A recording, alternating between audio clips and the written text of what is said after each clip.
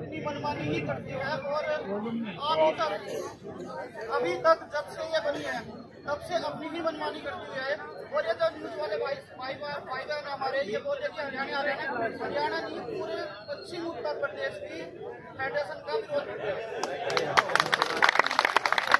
ये आपने सुना होगा, सभी मीडिया कर्मियों ने दूसरे भाइयों ने अभी ये खाली स्टेट का प्रदर्शन नहीं है। किसी स्टेट के बारे में वो गलत बोलते हैं। ऐसे आप शब्द बोलते हैं जो आदमी एक दूसरे के सामने नहीं बोल सकता। और वो खुले में पूरे कंपटीशन में जहाँ पे लड़कियाँ भी होते हैं लड़के भी होते हैं कई सौ की तादाद में वहाँ पे बोला जाता है। एक स्टेट के ऊपर आरोप लगाया जाता है उसके बारे में गलत बोला जाता है। तो मैं अभी हमारे बीच में उत्तर प्रदेश से ही अर्जुन अवार्डी है कॉमनवेल्थ गेम्स के मेडलिस्ट हैं। श्री शोकेंद्र तोमर, वो अपनी बात रखेंगे।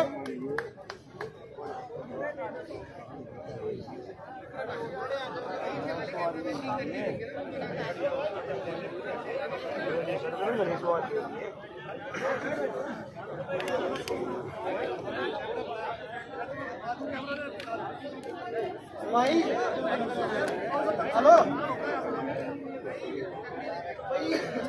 अगर शांति नहीं बनाओगे तो मैं बोलूँगा नहीं। मुझे दो तीन पॉइंट खड़े करने हैं।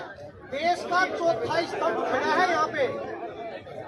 पूरे देश, हमारे देश का चौथा स्तंभ खड़ा है। अगर आप शांति बनाओगे तो मैं तीन पॉइंट रखना चाहता हूँ आप सबके सामने।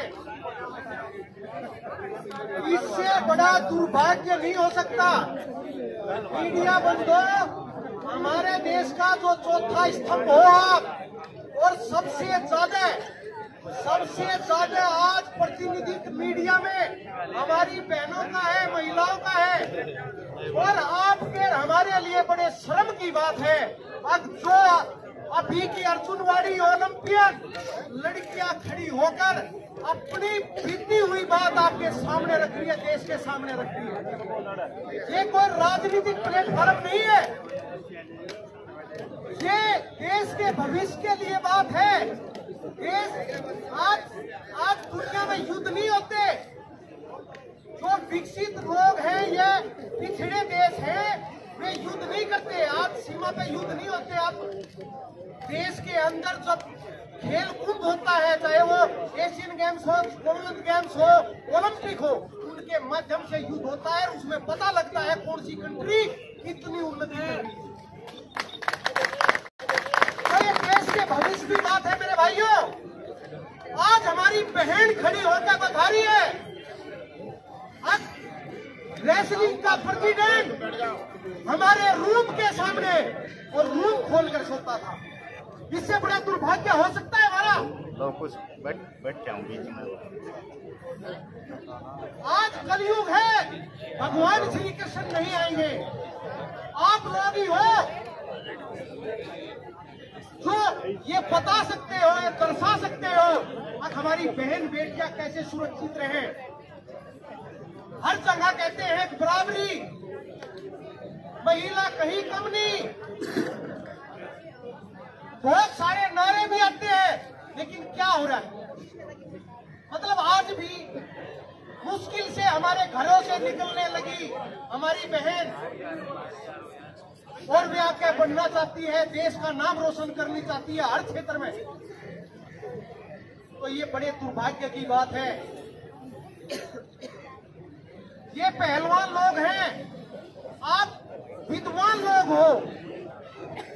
विद्वान में, पहलवान में फ़र्क है।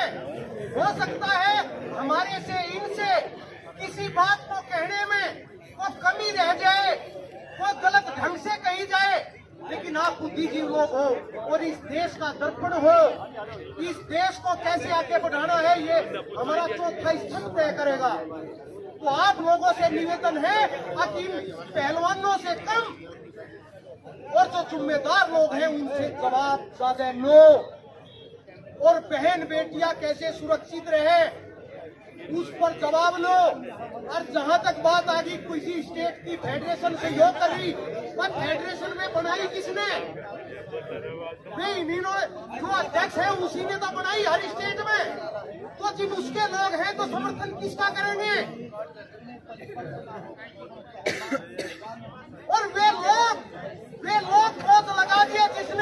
मिनट बैठे छठी बीमारी वे हमारी बहन बेटियों को गाँव में सिखाएँगे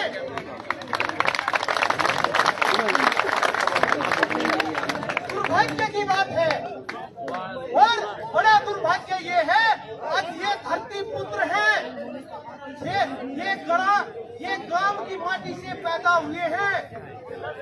इनका एक भाई बॉर्डर पे सेना पे खड़े, सेना में खड़ा है और दूसरा यहाँ बापू खेत में काम Thank you.